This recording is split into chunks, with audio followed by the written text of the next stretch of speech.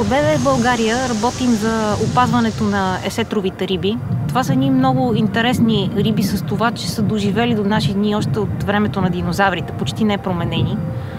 Те са много забележителни с начина си на живот и с външния си вид, но са изключително застрашени. В Дунава са останали от 6 вида срещащи се на времето само 4. От тях 3 са в международните класификации като критично застрашени. Един вид само чигата е само застрашен, но въпреки това и той не е в добро състояние в момента. Днес пуснахме успешно няколко хиляди екземпляра от вида чига, който е есетрова риба. Рибките са произведени по специална методика, която гарантира техният, техната генетична чистота и техния дунавски происход.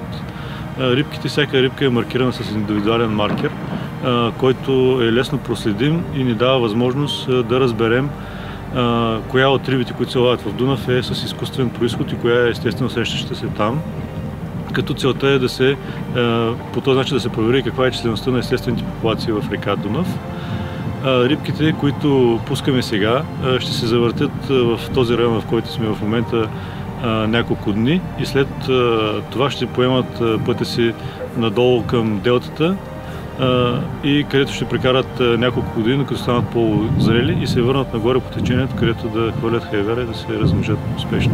За целта има нужно да имат опазени пътища, през които да минават, да няма по тях инфраструктура, да няма прекъсвания и да имат места, в които малките рибки да се развиват.